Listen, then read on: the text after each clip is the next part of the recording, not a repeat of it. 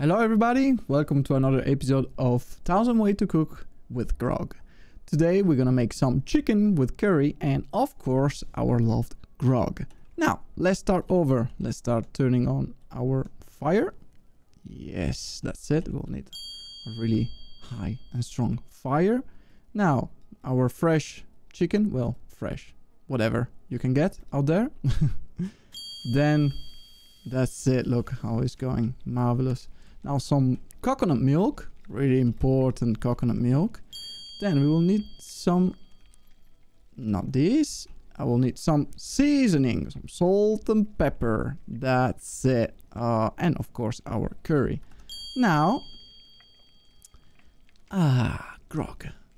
Ah, nice taste. Yes, it's good. Now, uh, pour how much grog you want to. Uh, I will do quite some. I think that's might be enough, yes.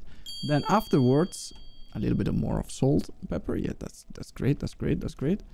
Now, we will need to fire up our grog like that. Oh, oh, okay, okay, okay, that's fine, that's fine. That, that, that's, that, that can happen, that, that can happen. So next time maybe to try, try to, yeah, well, it's fine. It's part of the recipe, guys. It's totally good. It's totally good. Look, look, look at that, look at that, look at that, look at that. Almost done, almost done.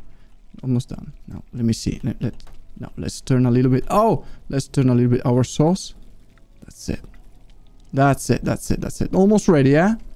Oh, I think it's ready. I think it's ready. Oh, look at that. Look at that. Huh? That's it.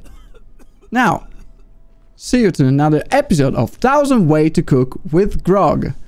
This is all from Dedro. Bye!